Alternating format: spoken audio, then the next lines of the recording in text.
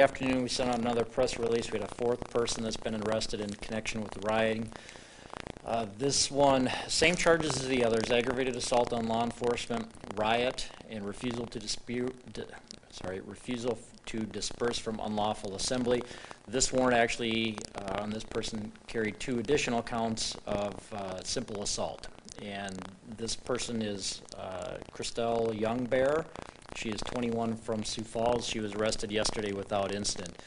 Uh, The two additional charges, I think everybody knows the whole backstory to this, but the two additional charges were, uh, there were other people in the crowd uh, that were trying to stop her from throwing rocks. And she started threatening them. Uh, One of them, I think there may have been a little bit of physical, some pushing, something like that, but she threatened with that. So that's why we have the two additional counts for simple assault. The warrant also carries a 25,000 cash bond, the same as the other warrants as well. Um, As far as identifying the other people, we're making good progress on that. We did have uh, one of the pictures, actually two different pictures that we think is the same person. Uh, The ones that were labeled, it was A1 and A11.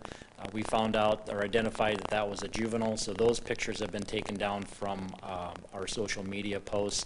Uh, I don't have any details on uh, if there was an arrest or charges with that. Um, I think that's it. We're still, like I said, we're still making progress. We're still getting tips that have come in. Uh, The tips that have been coming in are overwhelming. Uh, It's both through social media and from Crime Stoppers.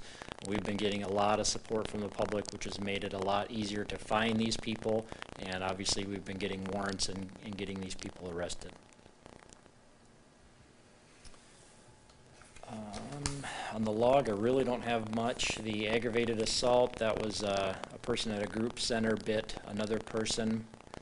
Uh, No serious injuries with that. The assault was a simple assault. The burglaries, we had a couple of garages that were entered, and the other was uh, business had some tools taken. The disorderly conducts and subjects, those ended up being reports, uh, a few disorderly phone calls in there, um, a stalking report, uh, really nothing big.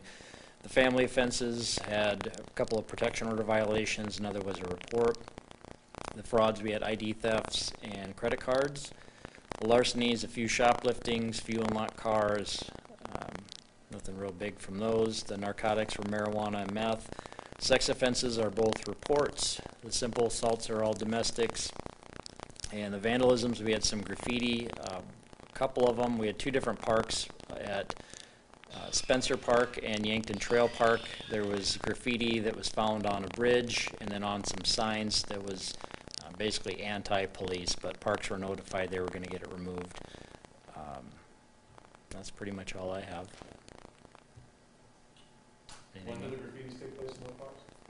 It was found yesterday afternoon. Yesterday. So I'm not sure exactly, probably sometime the day before, or so sometime maybe overnight that it was, I guess somebody put it there. You said Spencer and Yankee Trail? Yes. There was a bridge in uh, Yankton Trail, I'm not sure which bridge it was. Uh, The other was some signs in Spencer Park.